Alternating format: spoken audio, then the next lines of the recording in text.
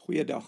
In hierdie video gaan ons kyk hoe om vierkante sentimeter te herlei na vierkante meters en andersom vierkante meters te herlei na vierkante sentimeter. Altyd wanneer ons met herleidingswerk vra ons een grootte maak hoeveel kleintjies. Ek het hier vir ons een vierkante meter geteken.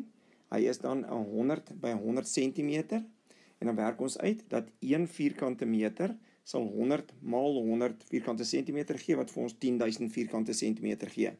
So een grootte maak 10000 kleintjies. Een vierkante meter maak 10000 vierkante sentimeter. Nou gaan ons dit net in die herleidings gebruik.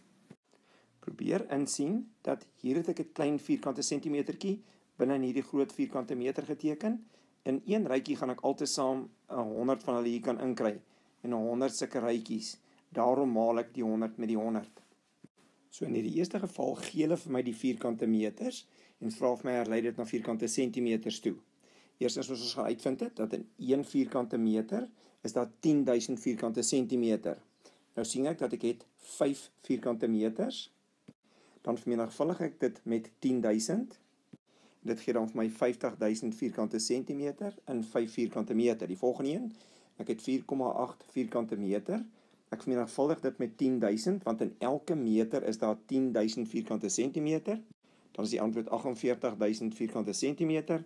En laaste een hierdie desimaal 0,7 vierkante meter gaan ek ook vermenigvuldig met 10000.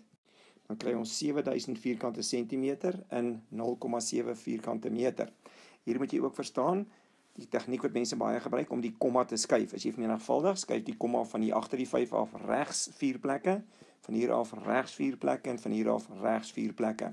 Maar dit is beter as jy verstaan wat jy gedoen het of 'n sakrekenaar gebruik. Nou gaan ons net aan die kant om.